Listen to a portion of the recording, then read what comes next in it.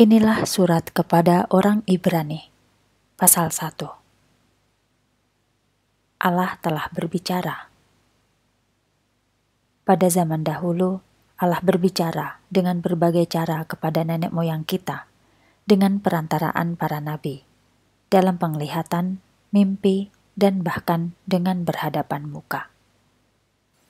Dan sedikit demi sedikit mengungkapkan rencananya kepada mereka tetapi pada zaman akhir ini, ia telah berbicara kepada kita dengan perantaraan anaknya.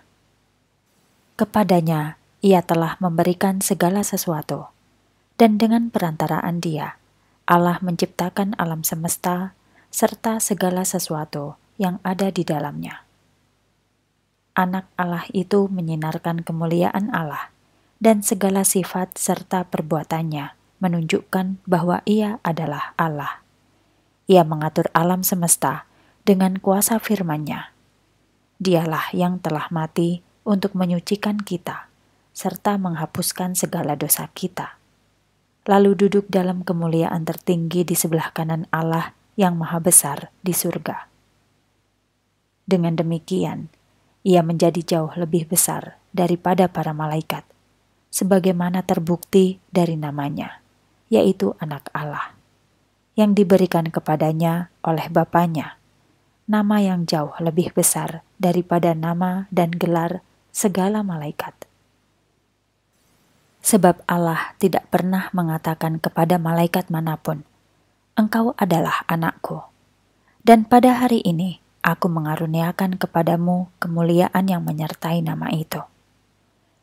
Tetapi kepada Yesus, Allah sudah mengatakan demikian. Pada kesempatan lain ia berkata, Akulah bapaknya, dan dialah anakku. Dan pada kesempatan lain lagi, ketika anaknya yang sulung itu datang ke dunia, Allah berkata, Hendaklah semua malaikat Allah menyembah dia. Allah berbicara mengenai malaikat-malaikatnya sebagai pesuruh yang cepat laksana angin dan sebagai pelayan yang berupa api yang menyala.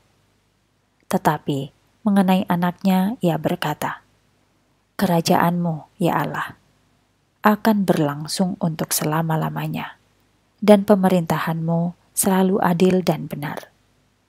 Engkau mengasihi yang benar dan membenci yang salah.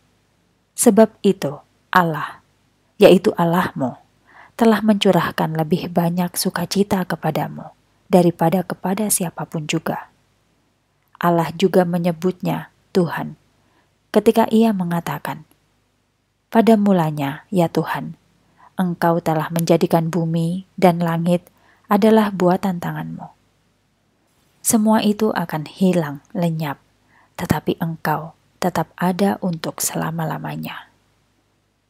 Semua itu akan menjadi usang seperti pakaian tua, dan pada suatu hari kelak akan kau gulung dan kau ganti dengan yang baru.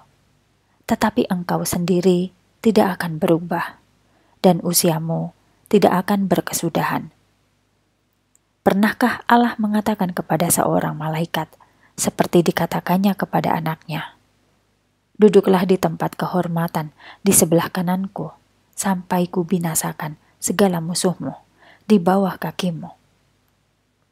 Tidak pernah sebab malaikat hanyalah roh yang diutus untuk menolong dan memelihara orang yang akan menerima keselamatan.